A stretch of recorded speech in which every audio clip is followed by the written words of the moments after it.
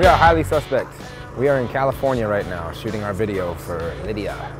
Lydia is a song about a failed relationship and how it can be kind of tragic sometimes when two people's life choices lead them in different directions, but the love is still there. And I think that's pretty relatable. I think a lot of people can identify with that. So what the video is showing is, you know, an, an inescapable fate you one that I used to love, and I'm still in love, and I never loved you the most.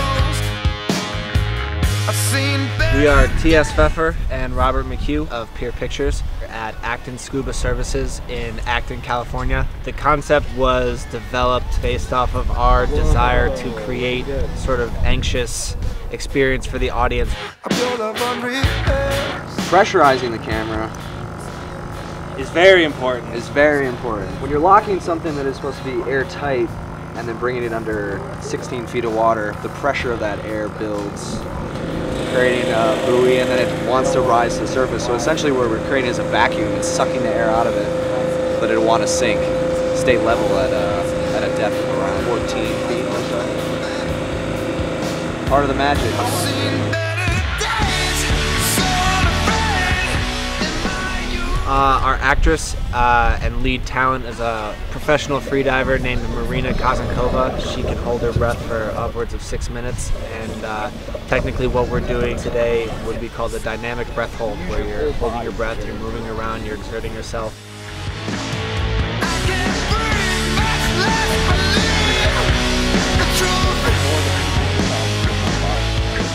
The water is warm, but when you stay for a lot of time, it starts to be a bit colder. Uh, no, I prefer to finish and a hot shower, and then to put on warm clothes and to be happy about this wonderful day. I can't imagine that there's more than a handful of people in the world who have the the talent and the abilities that, that she has. So we're very fortunate to be working with her. In addition to the rest of our of our crew. Rudie Schaefer, production designer. Grant Graves, lead safety diver. Pascal, our underwater operator. Christina Cofran, makeup artist, Ben Hausdorff, Bobby Settlemire, and Jeff Kincheloe. It was sort of like the perspective of the shark. The shark is sort of swimming around you and deciding whether or not to leave you for nature's course of action or to take a bite out of you. All right, so, guys, we're gonna roll a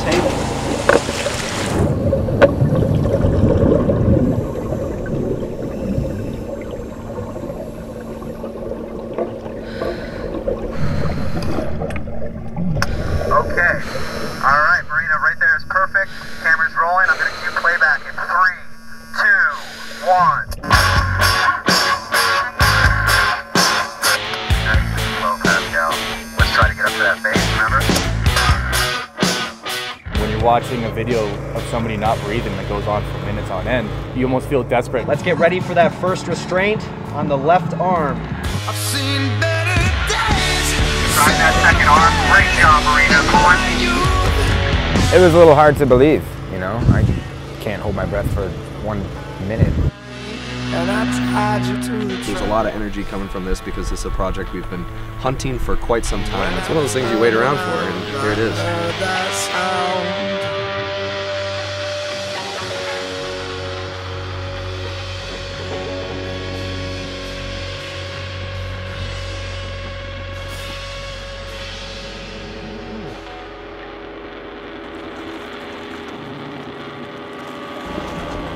All right, guys, you can uh, you can come on up. That's a wrap.